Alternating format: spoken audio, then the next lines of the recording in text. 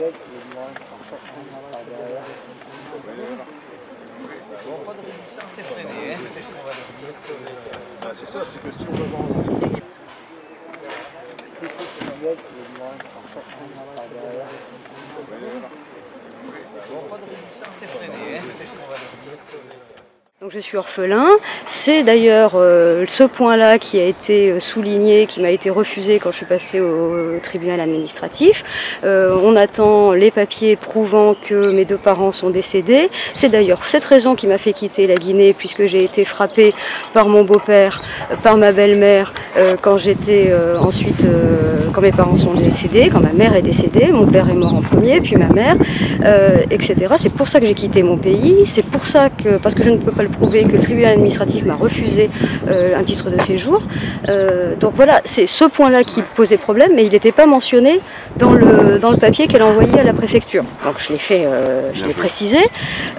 ensuite, ils ont envoyé le papier et dans les 10 minutes, euh, ensuite, euh, la préfète a dit, euh, la préfecture, si la préfète elle-même, mais la préfecture a dit c'est bon en centre de rétention. Donc en gros, c'était la décision a été prise avant même qu'on envoie quoi que ce soit.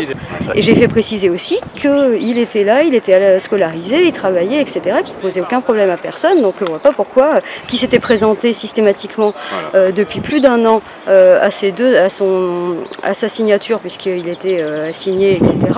Donc voilà, quel était le problème quoi voilà, donc là, c'est pour ça que j'ai demandé à ce que tout le monde puisse appeler la préfecture de l'Ardèche en disant à la préfète, vous ne vous faites pas en centre de rétention administrative. Quel est le problème Il savait très bien qu'aujourd'hui ça risquait de poser un problème, il est venu quand même. Euh, c'est complètement ridicule. Mmh.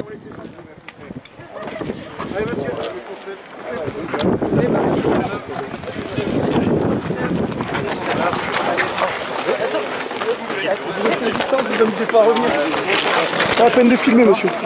C'est pas la peine de filmer. Allez-y, allez-y, allez-y. Allez-y, poussez là.